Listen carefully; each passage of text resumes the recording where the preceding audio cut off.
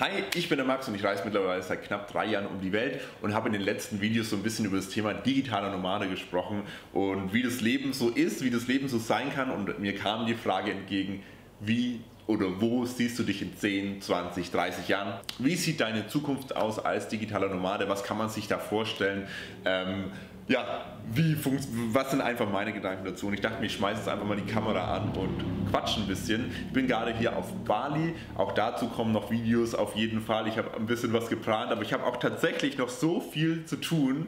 Man denkt es immer gar nicht, als digitale Nomade denkt man immer, ja, ach, die chillen ja den ganzen Tag nur und so. Aber auch wir müssen natürlich von irgendwas leben können. Und ähm, bei mir sind es ja meine Einkommensquellen wie YouTube, dass ich äh, T-Shirts-Designs mache oder dass ich einen Etsy-Shop betreibe.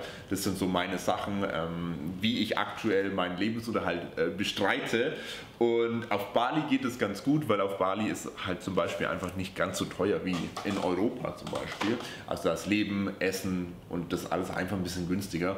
Was natürlich cool ist, aber natürlich auf lange Sicht muss man auch schauen, okay, hm, wie will man das mal für die Zukunft machen, will man sich was wegsparen, will man sich ähm, ja auch mal mehr gönnen, sage ich jetzt mal. Wobei, das ist halt das Schöne an Ländern oder an Orten wie zum Beispiel in Asien oder in Zentralamerika. Du brauchst nicht so viel Geld, um einen coolen Lifestyle zu haben, beziehungsweise um dir mal was zu gönnen, um essen zu gehen. Das ist halt einfach anders und wenn du ähm, mit Euro verdienst oder wenn du ein Online-Business hast, das dich in Euros auszahlt, dann brauchst du auch da gar nicht so viel, um dort eigentlich gut leben zu können. Also das ist was ganz, ganz Schönes und theoretisch brauchst du dann auch nicht so viel und kannst dir mehr wegsparen für später. Und bei mir ist es so, dass ich mich zum Beispiel in zehn Jahren, ich weiß ehrlich gesagt noch nicht, wo ich mich in zehn Jahren sehe. Also das kann mehrere Wege einschlagen. Natürlich kann es sein, dass ich in drei Jahren sage oder in einem Jahr sage, okay, das digitale Nomadenleben ist nichts für mich. Also es ist auch so, wenn jemand sagt, okay, ich bin digitaler Nomade, für welchen Zeitraum bist du digitaler Nomade? Also ich kann mir schon vorstellen, dass ich das noch zehn Jahre mache, dass ich aber vor allem sehr, sehr langsam reisen werde und ähm, mir eine Base raussuche, wo ich vielleicht ein bisschen länger bin. Es kommt darauf an, wie das mit den Visa natürlich immer ist. Ich ich reise eigentlich ausschließlich mit Touristenvisas aktuell und da ist es halt auch so, dass äh, du zum Beispiel in Mexiko kannst du sechs Monate bleiben, hier auf Bali 30 Tage und dann kannst du nochmal um 30 Tage verlängern. Äh, es kostet aber auch immer was und in anderen Ländern vielleicht auch nur 30 Tage, 90 Tage, je nachdem, wo du gerade bist. Ich glaube, in Südafrika, in Kapstadt wären es 90 Tage und dann musst du halt wieder ausreisen. Das heißt, du bist also durch das Visum immer automatisch so ein bisschen gezwungen, so ein Nomade zu sein und immer mal wieder ein bisschen weiterzuziehen. Aber was ich mir zum Beispiel vorstellen kann, dass ich eine Base habe oder vielleicht zwei, drei Bases, wo ich sage, okay, da kann ich ein bisschen rotieren, da fühle ich mich wohl, da fühle ich mich auch zu Hause und ähm, da einfach zwischen den Plätzen hin und her wandern. Oder zum Beispiel jetzt, wenn ich in Asien bin, dann will ich einfach Asien bereisen und jetzt zum Beispiel bin ich zwei Monate auf Bali, dann reise ich nach Thailand, da bin ich dann 30 Tage und dann geht es wieder für zwei Monate zurück nach Bali. Das ist einfach mal so ein kurzer Ausflug, sage ich jetzt mal. Es ist ja nicht weit, es ist ja keine große Flugstrecke und dann kann man das praktisch mal machen. Man hat dann mal wieder was Neues gesehen und dann geht man wieder zurück in seine Base, hat da seinen Visa-Run gemacht und lebt praktisch weiterhin auf Bali. Also so kann man das Ganze machen.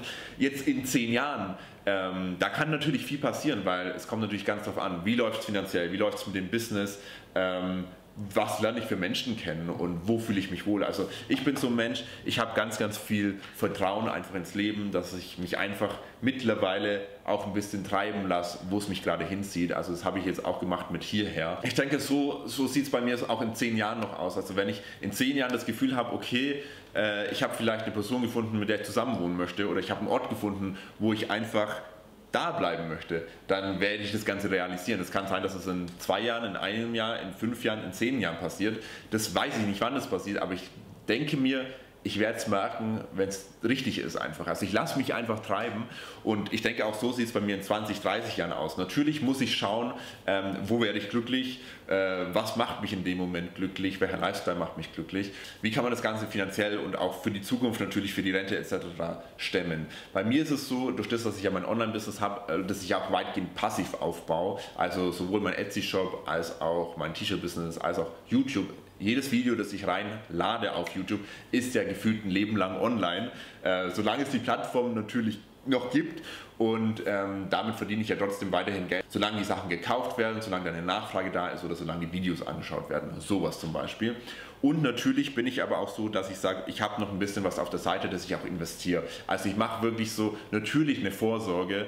Ähm, natürlich gebe ich auch nicht alles Geld, das ich verdiene, sofort aus und bin momentan auch sehr, sehr sparsam unterwegs. Man sieht es eben nicht so, weil man nicht so viel Geld braucht in so einem Land. Also ich war gestern essen mit Vorspeise, Hauptspeise, Nachspeise und Getränk und habe halt 6,40 Euro mit Trinkgeld bezahlt. Also das kannst du dir halt in Deutschland gar nicht vorstellen. Hier kannst du eine Woche gefühlt essen gehen und dafür kannst du in Deutschland zweimal essen gehen. So einfach gefühlt. Und es war jetzt auch kein mega local Essen, sondern es war schon in einem ganz normalen Restaurant. Es gab Frühlingsrollen, es gab äh, Nudeln und es gab so ein Lava Cake. Also es ist jetzt auch nicht komplett local gewesen. Dann geht es sogar noch günstiger. Aber nochmal zu dem Thema, wo sehe ich mich in ein paar Jahren? Ich denke, dass ich mein Business weiter aufbauen möchte. Ich will auf jeden Fall ortsunabhängig bleiben, egal ich, das ist ja das Schöne, ich kann ja ortsunabhängig sein und trotzdem an einem Ort sein, aber ich kann sagen, okay, in einer gewissen Zeit kann ich auch wieder weggehen, wenn ich weggehen möchte. Aber ich bin nicht abhängig von einem Ort. Deswegen also auf jeden Fall mein Business weiter aufbauen in den nächsten fünf oder zehn Jahren. Das einfach weitermachen, was mir Spaß macht, auch auf neue Sachen, wo ich sage, hey, das sind neue Projekte, die auf mich zukommen, da habe ich Bock drauf, das will ich ausbauen.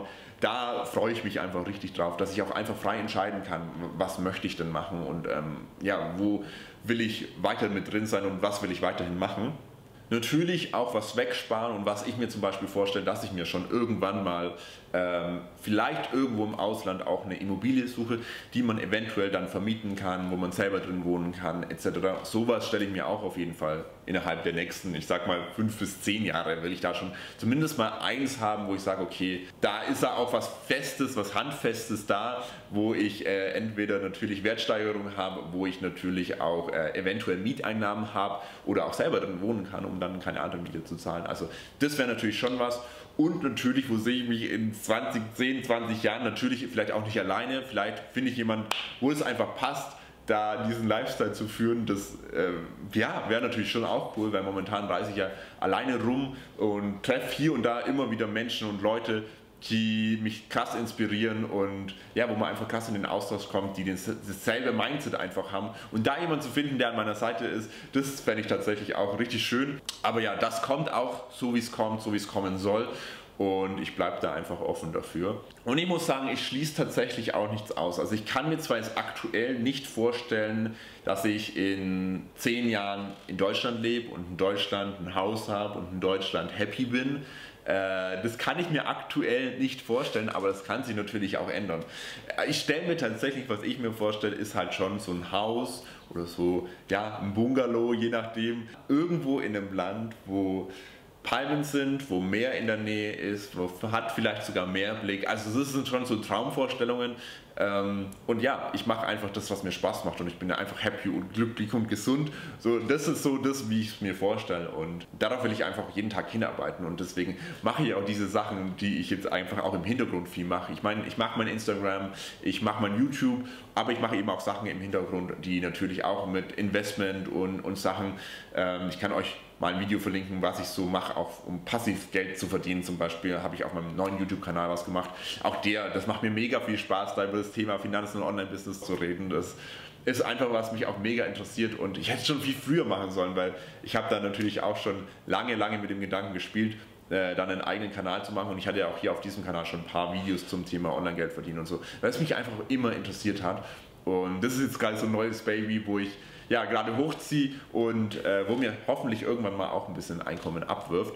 Aber ja, so denke ich, dass ich einfach weitermache, die nächsten 10, 20, 30 Jahre, so lange, bis ich einfach mal, okay, ich habe was gefunden, wo ich mich so richtig hundertprozentig angekommen fühle ähm, und ich bin glücklich an dem Ort oder an den Orten, äh, wo ich mich glücklich fühle. Also ich habe da wirklich auch keine Ängste, dass ich sage, oh, keine Ahnung, irgendwann wird mir das alles zu viel. Weil ich wirklich, solange mein Online-Business einigermaßen läuft, die Freiheit habe, eigentlich so gut wie überall zu leben, wo ich einfach gerade Lust habe. Und wenn ich sage, okay, ich habe Lust auf Europa, dann gehe ich halt nach Europa. Klar, dafür muss natürlich auch das Geld immer stimmen und deswegen ist Asien oder Zentralamerika gerade einfach ein bisschen einfacher. Aber ich bin ja dran, dass es auch alles noch weiter nach oben geht und äh, ja, somit habe ich auch keine Ängste gerade einfach und ich lasse mich treiben und es ist sehr, sehr schön, sich treiben zu lassen und ich bin auch super dankbar, dass ich die Möglichkeit habe, mich treiben zu lassen, dass es die Möglichkeit heutzutage gibt, mit YouTube-Videos Geld zu verdienen, dass es die Möglichkeit gibt, mit Online-Produkten Geld zu verdienen, ähm, wo ich Leute noch happy machen kann auch noch. Also es ist einfach cool und ja, ich würde sagen, damit kann ich das Video auch gut abschließen. Ihr dürft mir gerne mal eure Meinung, eure äh, Gedanken dazu in die Kommentare schreiben und wir sehen uns hoffentlich beim nächsten Mal. Macht es gut. Ciao.